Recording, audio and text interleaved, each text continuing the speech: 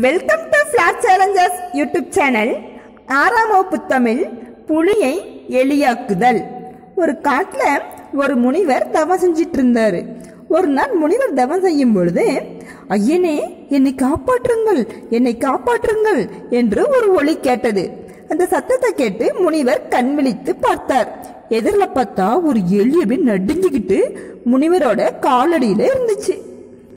உடனே முனிவர் அந்த எலியை பார்த்து ஏன் இப்படி நடுங்கிட்டு இருக்க? உனக்கு ஏற்பட்ட துயர் என்ன? என்ன துன்பம் ஏற்பட்டுச்சு? எதனால இப்படி நடுங்கிட்டு இருக்குன்னு? முனிவர் எலியை பார்த்து கேட்டாரு. அதுக்கு அந்த எலி என்ன சொல்லுச்சுன்னா ஐயனே ஒரு பூனை என்ன துரத்திக்கிட்டு வருது. நீங்க தான் எனக்கு உயிர் பிச்சை கொடுக்கணும்னு சொல்லிட்டு எலி முனிவர்கிட்ட சொல்லிச்சான் அதற்கு அந்த முனிவர் சொன்னாரா நீ பயப்படாத. உன்னையும் நான் ஒரு பூனையா மாத்திடுறேன். அப்ப அந்த பூனையால உன்னை ஒண்ணுமே செய்ய முடியாது. நீ நல்லா நலமா வாழலாம் அப்படின்னு சொல்லிட்டு உடனே முனிவர் எளிய பூனையை மாத்திட்டாரு. கொஞ்ச நாளுக்கு அப்புறம் மீண்டும் அந்த பூனை வந்து முனிவரை தேடி ஓடி வந்துச்சான் அப்படியே பயத்துல சுத்தி முத்தி பார்த்துட்டு இருந்துச்சான் அதை கண்ட முனிவர் பூனையே ஏன் இப்படி நடுங்குற? பயப்படாம காரணத்தை சொல்லுன்னு சொல்லியிருக்காரு. அதுக்கு அந்த பூனை சொல்லிச்சான் ஐயனே நான் என்ன சொல்லுவேன்? நீங்கள் என்னை பூனையாக மாற்றிய பிறகு சிறிது காலம் நான் சந்தோஷமா மகிழ்ச்சியா தான் இருந்தேன். இன்னைக்கு எங்கிருந்தோ ஒரு நாய் வந்து என்னை கொல்றதுக்கு துரத்துக்கிட்டு இருக்குது. அதுக்கு பயந்துக்கிட்டு தான் நான் உங்ககிட்ட ஓடி வந்துட்டேன் அப்படின்னு சொல்லிட்டு சொல்லியிருக்குது அந்த பூனை. அதற்கு அந்த முனிவர் சொன்னாராம் ஓ அப்படியா செய்தி? இதோ இப்பவே உன்னை ஒரு நாயா மாத்திடுறேன். இனி நீ எந்தவித குறையுமே இல்லாம வாழலாம் அப்படின்னு சொல்லிட்டு அந்த பூனைய உடனே நாயா மாத்திட்டாரு முனிவர்.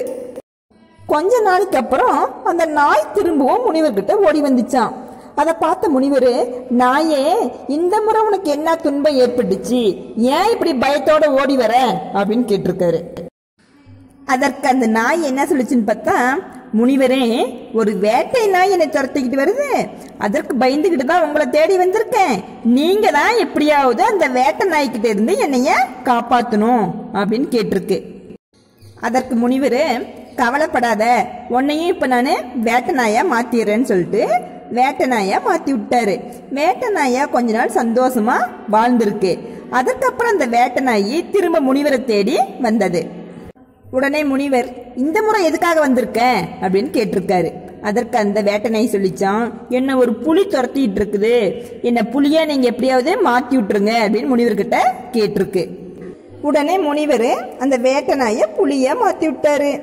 புளிய ஆன உடனே காட்டுக்குள்ள சந்தோஷமா ஓடி திரிஞ்சிருக்கு. காட்டில் உள்ள விலங்குகளை எல்லாம் கொண்டு சாப்பிட்டுருக்கு. மனம் போனபடி காட்டில் அலைஞ்சு திரிஞ்சிருக்கு. ஒரு நாள் பார்த்தா அந்த புலிக்கு இறை எதுவுமே கிடைக்கல. சாப்பிட்றதுக்கு உணவே இல்லை. எங்கெங்கேயோ காட்டுக்குள்ள சுத்தி சுத்தி அலைஞ்சிருக்குது ஆனா உணவு எதுவுமே கிடைக்கல. இப்பதான் அந்த புலிக்கு திரும்ப முனிவரோட ஞாபகம் வந்திருக்கு. சரி இன்று உணவுக்கு முனிவர் தான் என்று முடிவு செய்து முனிவரை பார்க்க வந்தது. இந்த புலிய பார்த்த முனிவர் பாவம் புலிக்கு இந்த தடவையும் ஏதோ ஆபத்து வந்துருச்சு போல இருக்கு. அதனாலதான் நம்மளை தேடி வந்திருக்குன்னு முனிவர் நினைச்சிருக்காரு. ஆனா அவர் நினைத்ததற்கு எதிர்மாறா நேர்மாறா புலி அப்படியே முனிவர் மேல பாஞ்சிட்டு வந்திருக்கு. இதை பார்த்த முனிவர் சீ எலியே அப்படியே நில்லு அப்படின்னு சொன்னாராம். உடனே புலி மறுபடியும் எலியா ஆயிடுச்சு. நன்றியை மறந்த புலி மீண்டும் எலியாகி பூனையின் வயிற்றுக்குள்ளேயே போய் சேர்ந்துருச்சு. மாணவர்களே இதில் இருந்து நாம் என்ன அறிந்து கொள்கிறோம் என்றால் ஒருவர் செய்த நன்றியை உதவியை எப்பொழுதும் மறக்கக்கூடாது. நன்றி மறப்பது நன்றன்று நன்றல்லது அன்றே மறப்பது நன்று என்னும் குரலுக்கு உதாரணமாக வாழ வேண்டும். நன்றி.